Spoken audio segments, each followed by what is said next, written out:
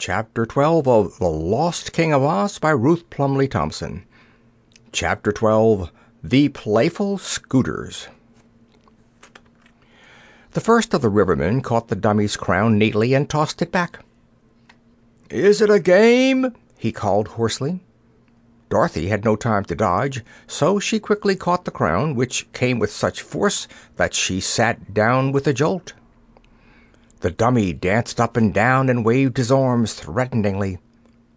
"Come on, Flubadub, it's a game!" called the first Riverman to the man just behind him. "Two Scoots playing a game. Here!" he croaked in his deep, frog like voice. "Throw it to me!" He raised his sails coaxingly at Dorothy, and, partly because she was afraid to have him come nearer and partly because she didn't know what else to do, the little girl pitched back the crown with all her might. The one called Flub Blub caught it immediately. The next throw was to Humpy, and backward and forward between the puzzled travelers on the bank and curious creatures on the water flew the dummy's crown, and breathlessly between catches Dorothy examined these strange playfellows. They were tall and angular, and so sunburned that they almost appeared to be Indians. They were clad in shiny, waterproof hats and slickers.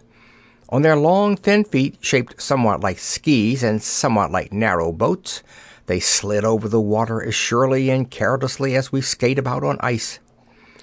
Extending from the ankle to the fingertips, and as much a part of the wearer as wings are part of a bird, were bright yellow sails. When their arms were down at their sides, the sails were folded in and almost unnoticeable. But with arms outstretched, the rivermen had two wide spread sails to help them scoot over the water.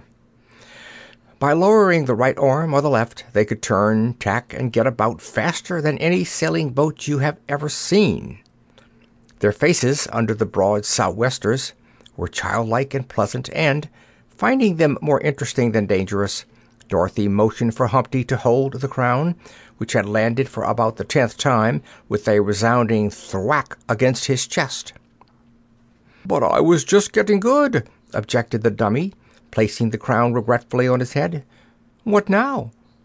Humpy had become so engrossed in catching the crown that he had quite forgotten his fright and as the leader came in close to the shore he looked at him with frank curiosity. "Well, Scoots," bubbled the one called Flub Blub, rocking gently backward and forward on the water, "who won?" "I think it was a tie," answered Dorothy politely. "But why do you call us Scoots?" "Because your sails haven't grown," gurgled the Riverman taking a white bubble pipe from his mouth and smiling broadly at the little girl. "But don't mind, my dear. We must all be Scoots before we're Scooters.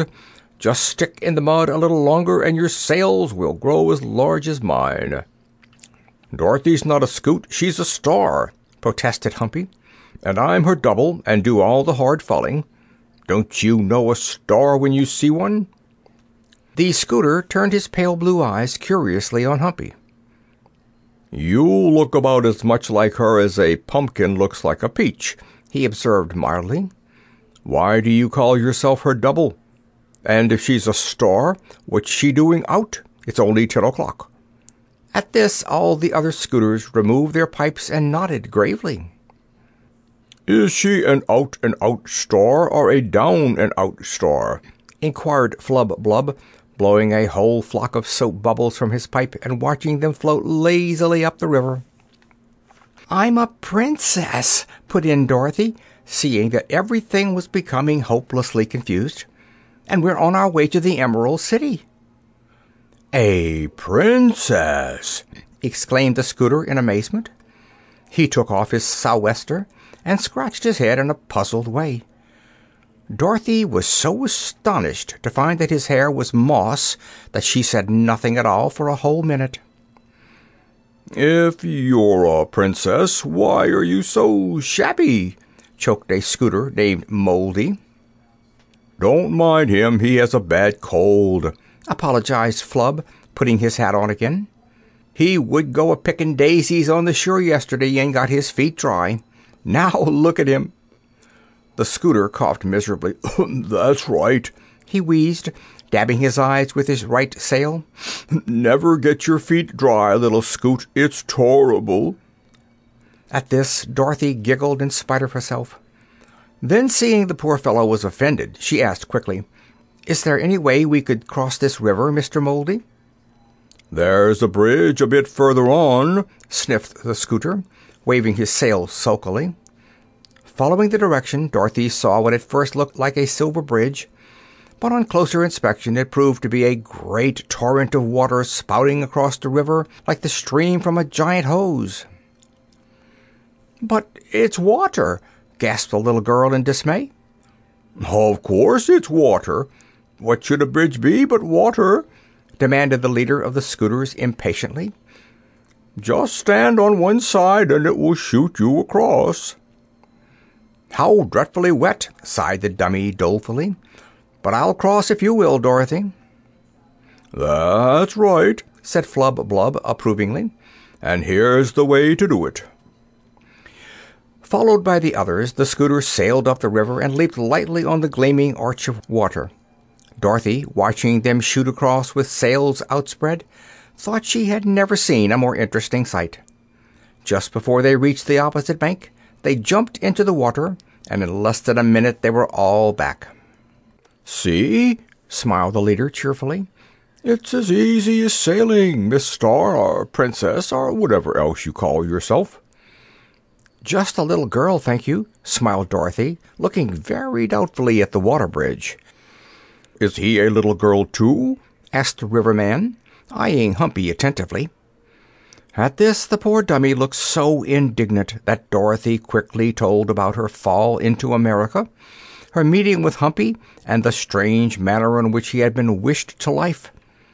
But as the Scooters had never heard of America, nor of a moving picture dummy, her story was not at all clear to them, and when she went on to explain that crossing the river on the water bridge and getting her feet wet would give her a cold, they were more astonished than ever.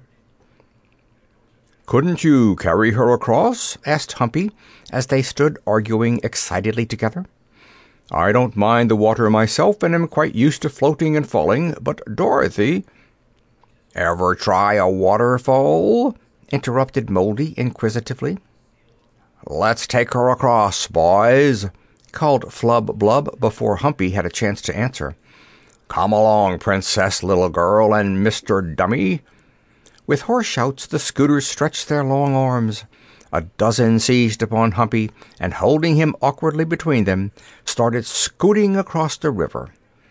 Dorothy, standing precariously on Flub Blub's right foot and balanced by Moldy's left arm, fairly raced over the waters between the two rivermen.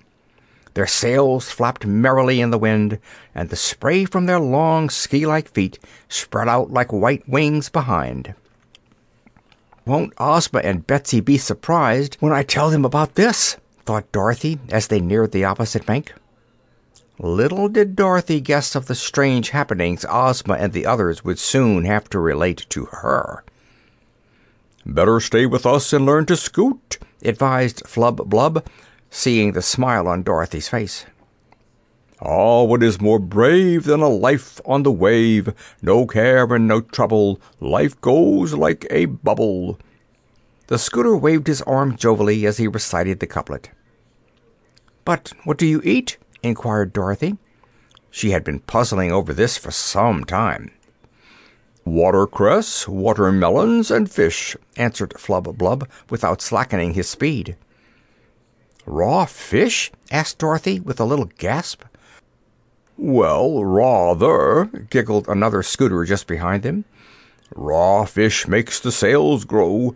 Stay in the water, little girl, and you'll soon have a fine pair of sails." "That's right," added Flub Blub, approvingly. Removing his bubble pipe, he continued earnestly: "Fish will make your feet grow, too. Eat fish, my dear, and grow a beautiful pair like mine." Dorothy looked down at the scooter's long feet and shuddered. "That settles it," she whispered with a little shiver. "I'll never eat fish." They had now reached the opposite side of the river. Thanking the Scooters for their kindness and bidding them an affectionate farewell, the little girl scampered quickly up the bank. Humpy had already been tossed ashore. "Goodbye!" shouted the Scooters, cheerfully waving their sails. They were in midstream by this time. "Goodbye!" called Dorothy, and Humpy, picking himself up clumsily, waved his crown. "Ah, still the same size, I see," smiled Humpy, looking amiably at Dorothy. "Any more adventures coming?" "Well, I liked that one," chuckled Dorothy, pulling up her stockings and straightening her hat. "Didn't you?" Humpy nodded, his eyes wandering over the fields and hills spreading out invitingly before them. "Is this the way to your palace?" he demanded, throwing his cloak back over one shoulder and waving his stick ahead. "It's not my palace," explained Dorothy, taking his arm. "It's Ozma's. She is the Queen of Oz, you know. But I have the dearest little apartment there, with a hundred fairy tale books, a hundred games, a hundred dresses, a dog named Toto, and a little white kitten." "Well, I hope your dog won't chew me," said Humpy uneasily. "I was in a picture with a dog once. He was supposed to knock me down. Well, he did, and before they could pull him away he had chewed off my ear and eaten my wig. I hate dogs." "But Toto's only a little dog. You'll just love Toto," Dorothy assured him quickly.